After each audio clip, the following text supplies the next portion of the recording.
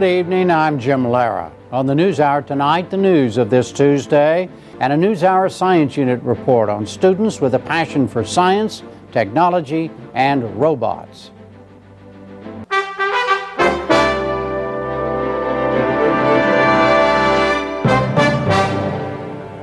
And finally, tonight, a high school robotics competition that is changing students' lives. NewsHour correspondent Tom Bearden has our Science Unit report. It was the opening round of the semifinals at the Colorado Regional First Robotics Competition, a rough and tumble game where robots score points by firing rubber balls through a hoop. We disabled it. It's disabled. Suddenly, one robot stopped moving. What? Do we have another key or anything else? plenty of keys in there. The members of Team 159, Alpine Robotics from Poudre High School in Fort Collins, scramble to fix their broken robot. The belt. It's the belt, Aaron. It's the belt on this side. Officials warned the team that they had just a few minutes to make repairs or be replaced by another team. You're not going to make it? Okay, sorry, guys. They couldn't do it and were forced to leave the field. Team captain Nick Hobbs showed one of his coaches the problem. So we can't drive.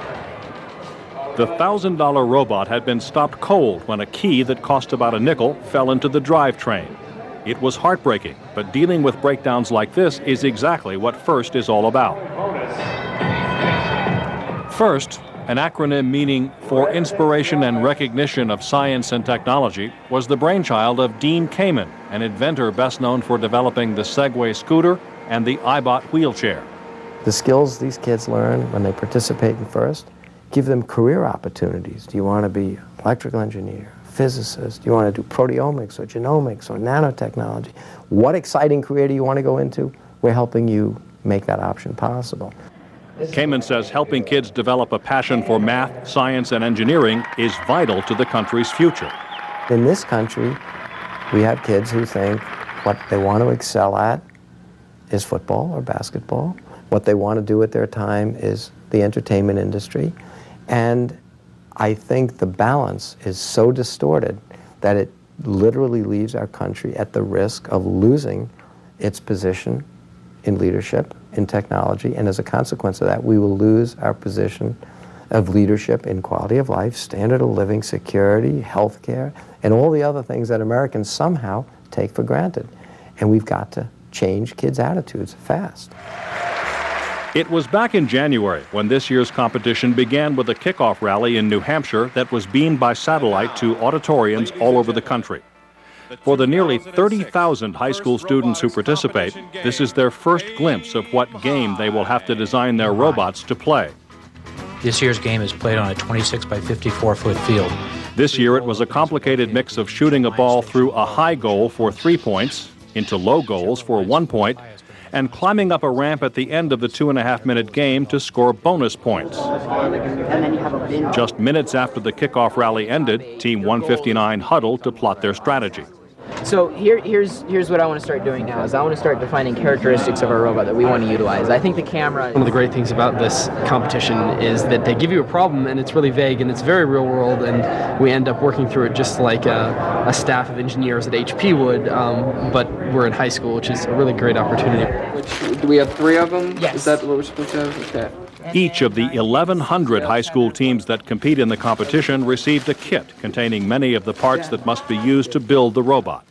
One of the things that the kit does is it keeps everything level, because otherwise you'd have people going out and buying the, the heaviest duty motors with the most efficient electrical output out there, and uh, they, their robot would obviously have more pushing power because of it, but not everyone can afford it. I think we got all those plates cut. Even with the kits, competing isn't cheap. Entry fees for each level of competition cost about $5,000. Additional parts for the robot not in the kit can cost $1,000 more. The students are required to raise the money themselves by finding corporate sponsors and through fundraisers. Team 159 was lucky to have a well equipped machine shop in their school so they could make most of the parts themselves. Many schools have to pay to have that done. What I suggest is that, you know, you come up with the design and, and prototype it as soon as you can. to see how- Each team has adult mentors, teachers, parents, and professional engineers who spend hundreds of hours guiding the students as they build the robots. Andres Teen is an engineer with LSI Logic, a high-tech firm based in Fort Collins. Our goal, you know, from a, a team perspective is to always to have the kids drive the design process because that's the way that they're going to learn. Um, few of the kids have some pretty strong minds and some opinions, and or probably will have some concerns on some of the things that they implement. But that's, you know, they have to go through that process. After the initial kickoff, each team has just six weeks to design, build, program, and test their robot.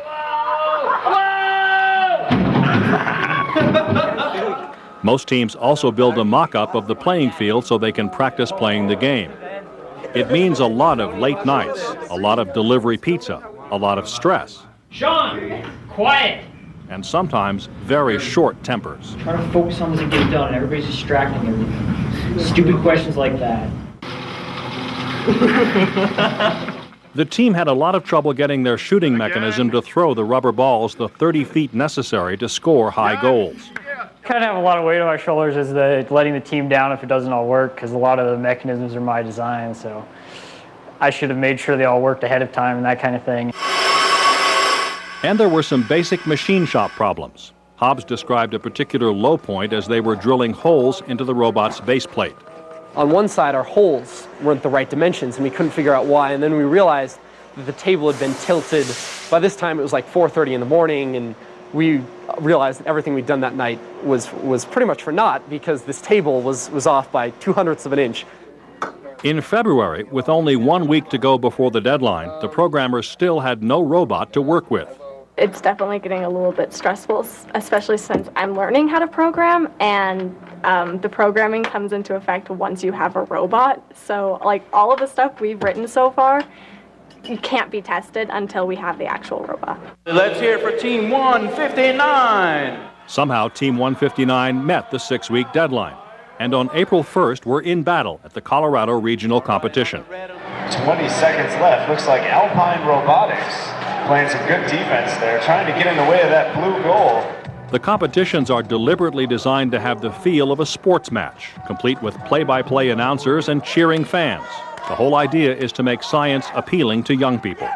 Science and engineering and inventing and creating is a gas. It's tremendously exhilarating. It's lots of fun. The games require a lot of teamwork. Each match has three robot teams competing against three other teams. Team 159's robot was performing fairly well until that five cent part failed. The kids were obviously disappointed, but not for long.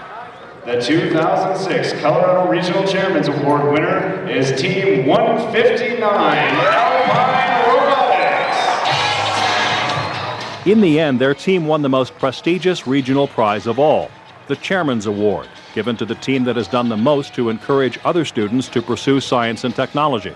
Team 159 had done that by helping other schools start robotics programs of their own. It meant they could go to the national competition a month later in Atlanta. Welcome to the Georgia Dome. The Nationals bring 340 teams from all over the world together for two raucous, strenuous days of head to head competition. Each team has its own unique story to tell. Is that battery? Team 812 came from the Preuss School in San Diego. It's a charter school made up of inner city minority students whose parents never attended college. The team won the Chairman's Award from the Southern California region for helping tutor kids who otherwise might never get one on one attention in math and science. Rob Maneri is the team's coach.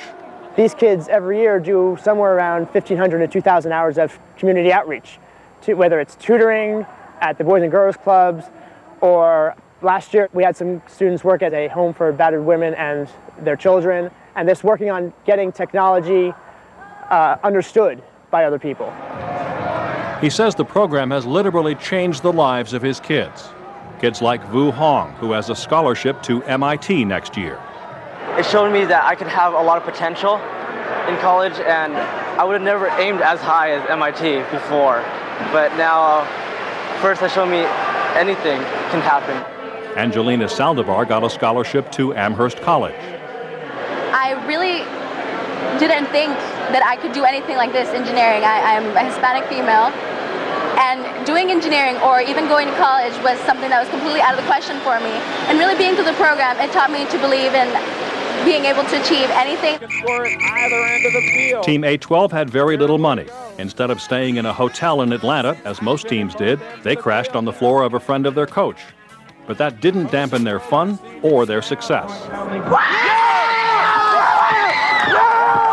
Team 812 finished an impressive 18th out of 88 teams in their division, and Maneri was named the top mentor in the country. Right, get back, get back, get back, get back! Team 159 also had quite a bit of success. Their robot performed well, and again they made the semifinals. All right, we're good, we're on. We're good, we're on. Until another, different part failed in the heat of battle.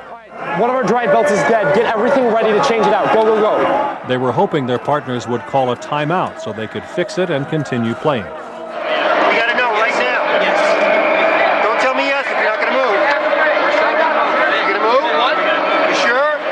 Ultimately, 159's two partners decided to get a replacement team. I'm very sorry. We wanted you guys on the field, but we had to go with the backup.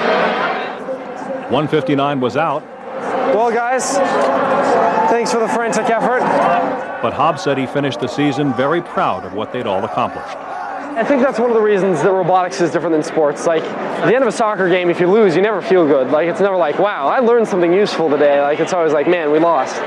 But, like, at the end of the season, like, you, you think about it and you, you, you look at the robot and you realize that, that we spent over, like, 40 hours a week, each of us, uh, working on it. And so the amount of time we spent competing, compo- like, opposed to the amount of time we spent building is, is minuscule.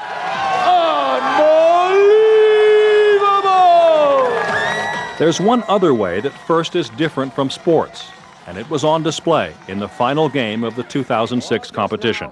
This 296 machine, its shooter was inoperable because they had lost a master link on a chain on the 296 machine. No one on this alliance had a master link to get that shooter working again.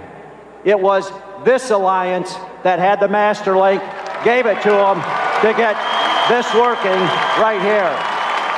Three, two, one, go!